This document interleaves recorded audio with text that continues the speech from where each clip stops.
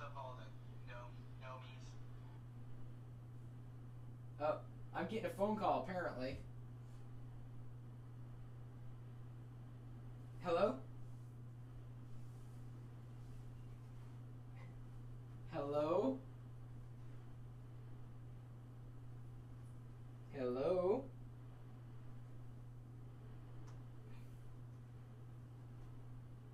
I guess that just dropped out.